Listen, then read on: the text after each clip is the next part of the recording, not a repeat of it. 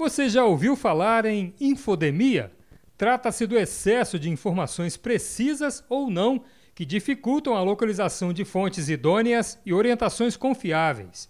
Em tempos de pandemia, esse também tem sido um vírus crescente. Comunicadores, ancorados na chamada liberdade de imprensa, falam o que querem e sem medir as consequências da informação mal apurada ou mal colocada num veículo de informação. Na outra face da moeda está o jornalismo ético e bem praticado, capaz de transformar e orientar uma sociedade para o caminho do discernimento e, consequentemente, o bem comum.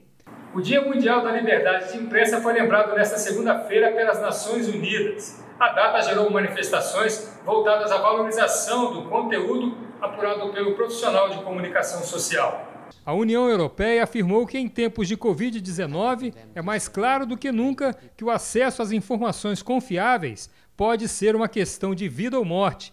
O Serviço de Ação Externa da União Europeia afirma que o jornalismo é a vacina principal contra a desinformação e revela que em mais de 130 países a imprensa está total ou parcialmente bloqueada. Em sua conta no Twitter, o Papa Francisco pede que usemos todos os instrumentos que temos, especialmente o poderoso instrumento da mídia, para construir e fortalecer o bem comum. Comprometemo-nos a usar os meios de comunicação para a paz.